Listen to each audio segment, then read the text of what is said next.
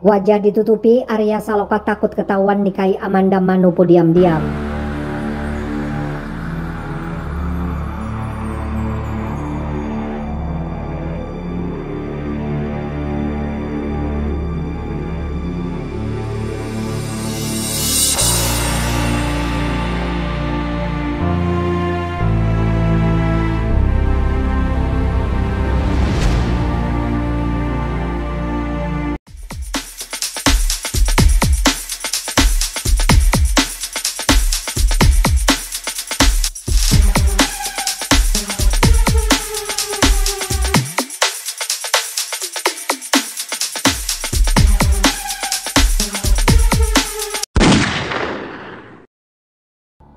Arya Saloka dan Amanda Manopo sering dijodoh-jodohkan oleh para penggemar sinetron Ikatan Cinta.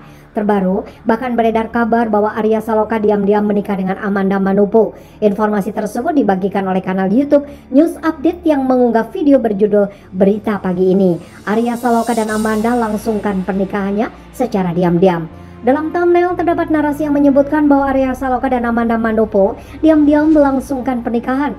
Tampak keduanya mengenakan pakaian serba putih khas pengantin, baik mempelai lelaki dan wanita mengenakan masker penutup wajah karena identitas keduanya takut diketahui publik. Hingga kini, video tersebut telah ditonton sebanyak lebih dari 1.800 penayangan.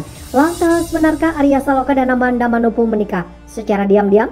Narator dalam video berdurasi 7 menit 13 detik di ini hanya memberikan informasi seputar rumor rumah tangga Putri En dan Arya Saloka yang beredar, di mana nama Amanda Manopo terseret karena dianggap sebagai pelakor. Tidak hanya itu, narator juga menyampaikan isu hubungan spesial antara Arya Saloka dan Amanda Manopo semenjak keduanya beradu akting dalam sinetron Ikatan Cinta.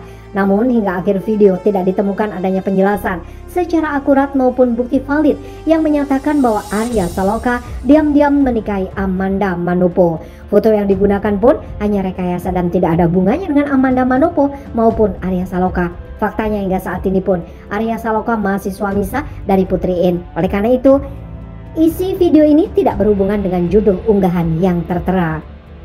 Berdasarkan penjelasan dapat disimpulkan bahwa kabar Arya Saloka diam-diam menikah dengan Amanda Manopo merupakan berita palsu atau hoax.